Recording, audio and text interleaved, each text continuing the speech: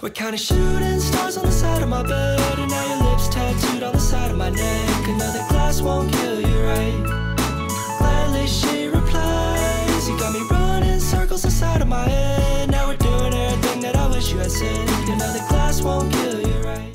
Hello mọi người đã rất là lâu rồi Trang mới quay trở lại một cái video chủ đề là xóa son đúng không? Nhưng mà video ngày hôm nay á, sẽ rất là đặc biệt giống như là Trang làm để dành riêng cho mọi người luôn á.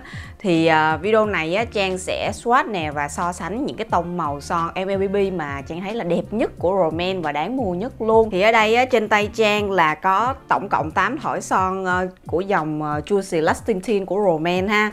Thì Trang sẽ chia ra là uh, warm tone và cool tone.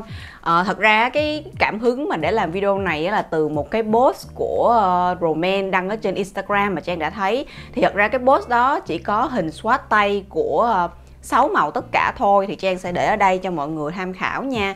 À, và thật sự là lúc nhìn cái hình swatch ở trên tay đó rất là đẹp đúng không? Là những cái tông màu MLBB rất là xinh và dễ sử dụng. Tuy nhiên thì Trang cảm nhận là những cái hình này nó có hơi sai màu so với bên ngoài một chút xíu. Nên là Trang làm video này để giải đáp thắc mắc cho mọi người và để mọi người tiện tham khảo hơn.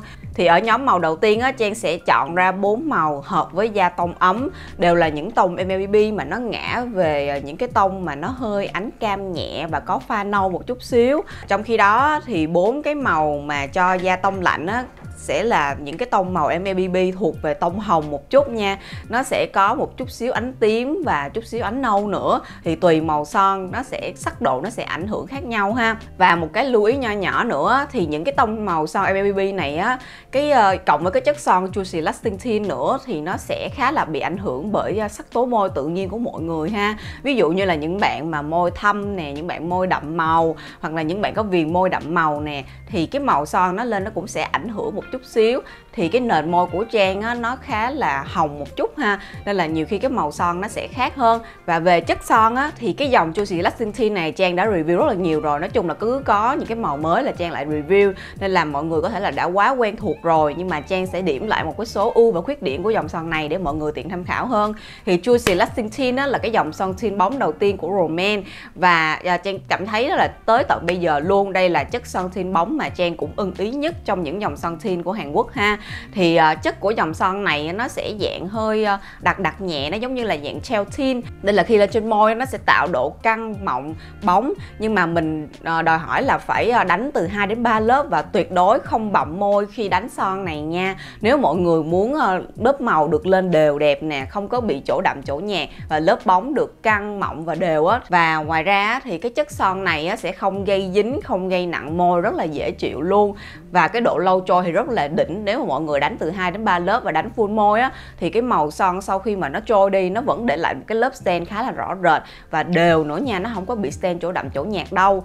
Và cái khuyết điểm của dòng son này á, là nhiều khi á, cái ờ, phần ờ, lòng môi nó sẽ bị trôi trước hoặc là nó bị đóng cận trắng ở lòng môi. Với giá thành á, thì rất là học sinh sinh viên luôn, chỉ tầm ờ, một trăm rưỡi đến 200 một cây. Và nhiều khi mình cancel thì sẽ được giá hời hơn. Và là chính hãng luôn á mọi người. Thì Trang rất là recommend dòng son này cho những bạn học sinh sinh viên lẫn những bạn mà yêu thích những cái tông son ờ, xin bóng MLBB nha.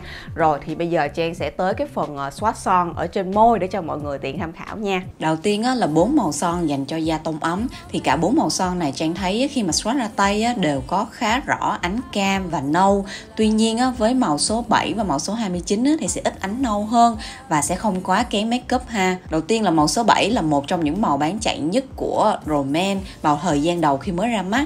Thì màu 07 này á, sẽ khá là tươi tắn dễ sử dụng hàng ngày dù là đi học đi chơi. Và nếu mà mình đánh nhẹ thì ánh cam ờ, không lên rõ quá. Nhưng mà đánh đè một đến hai lớp nữa thì mình sẽ rõ ánh cam hơn nha. Nhưng mà tùy sắc tố môi của mỗi người á, thì màu son này khi lên trên môi á, sẽ có ánh hồng nhẹ hay là ánh hồng ít. Và cũng như á, là sẽ ánh nâu nhiều hơn hay là ít hơn tùy vào sắc tố môi của mỗi người. Màu này thì trang thấy khá là xinh và dễ dùng.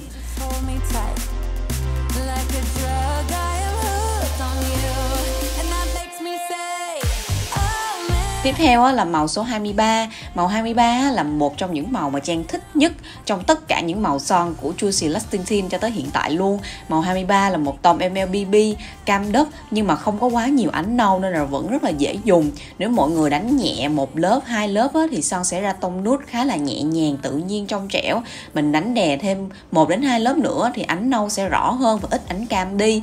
Màu này á, là dạng màu nude nên là sẽ ảnh hưởng bởi sắc tố môi tự nhiên của mọi người khá là nhiều nha. Màu này á, thì sẽ không có quá kén da đâu, bạn nào da ngâm hay là da sáng đều có thể dùng được.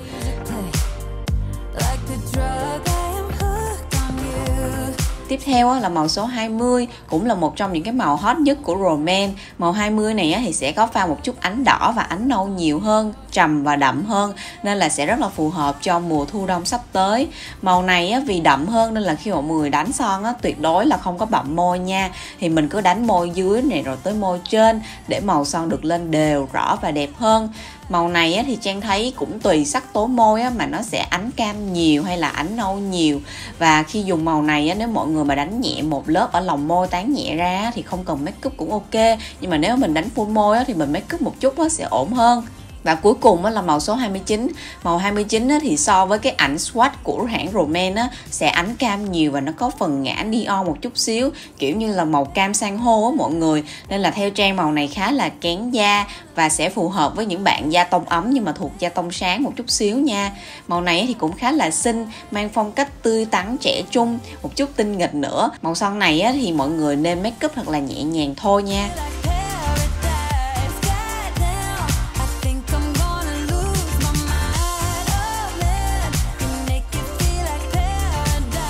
Ờ, phần tiếp theo á, thì Trang sẽ có bốn màu son dành cho da tông lạnh.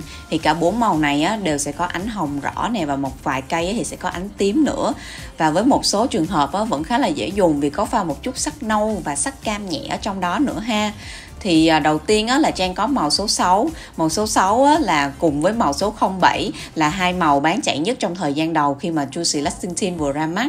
Màu số 6 á, thì sẽ ánh hồng hơn và ngã hồng khá là rõ rệt. Màu son này á, thì sẽ không có quá nhạt đâu. Nên mọi người yên tâm á, là màu son lên sẽ khá là rõ đều. Và nếu mà mọi người muốn lên màu son chuẩn hơn á, thì nhớ dùng che khuyết điểm cho môi trước khi đánh son nha. Và màu son này á, thì Trang thấy đúng chuẩn MLBB luôn. Tươi tắn nè nhưng mà không có quá lố, không có quá nhiều ánh neon. Hold it back, I let it show all my feelings.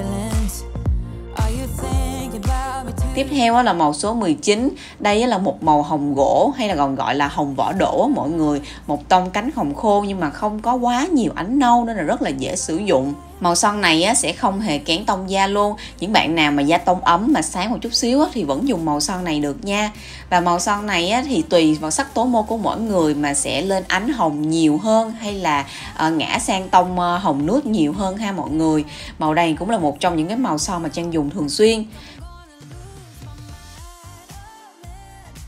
Tiếp theo là màu số 25 Màu 25 khi swatch ra tay là một cái tông hồng nút khá là nhạt và không quá nhiều ánh tím. Tuy nhiên khi mà swatch lên trên môi thì sẽ bị ảnh hưởng bởi sắc tố môi tự nhiên của mình khá là nhiều, Nên là nó sẽ ngã hồng nhiều hơn hay là ngã sang tông nút trầm nhiều hơn. Và màu son này Trang cảm nhận là khi đánh lên trên môi nó sẽ không có được đều lắm nha. Nên là để màu son được lên chuẩn nhất thì mình nhớ là phải đánh từ 2 đến 3 lớp full môi nè.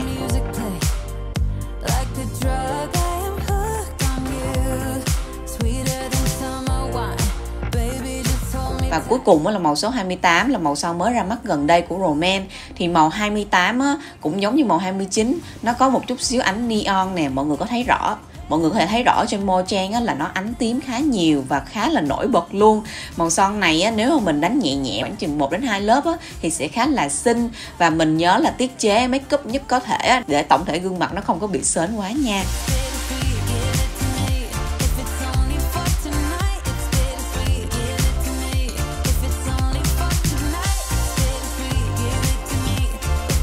Ok, vậy là video này á, Trang vừa mới swatch và so sánh 8 màu son tim bóng MLBB của Roman rồi. Nếu mà mọi người thích cái chủ đề mà uh, những cái tông son MLBB dễ sử dụng như thế này nữa Hoặc là bất kỳ request nào về video á, thì cứ comment ở bên dưới cho Trang biết nha.